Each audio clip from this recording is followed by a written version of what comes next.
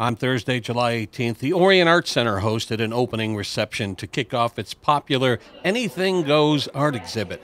19 local artists submitted 55 pieces of art in a wide variety of media.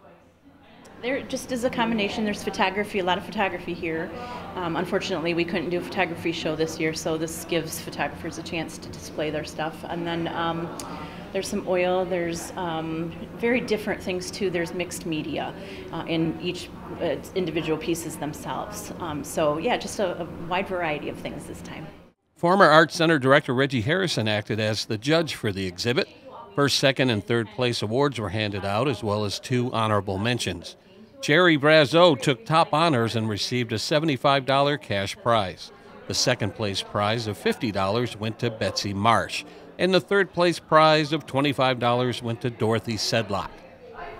Reggie said about your pieces, loved the precision of the elephants and the composition of the flowers and the creativity of the recycled envelopes into an abstract piece is well done. Well, so congratulations on third place. The exhibit will be on display at the Art Center until August 15th. The Art Center then gears up for their biggest fundraiser of the year.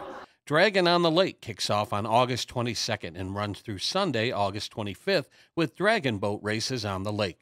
For more information, call 248 693 4986 or visit OrionArtCenter.org.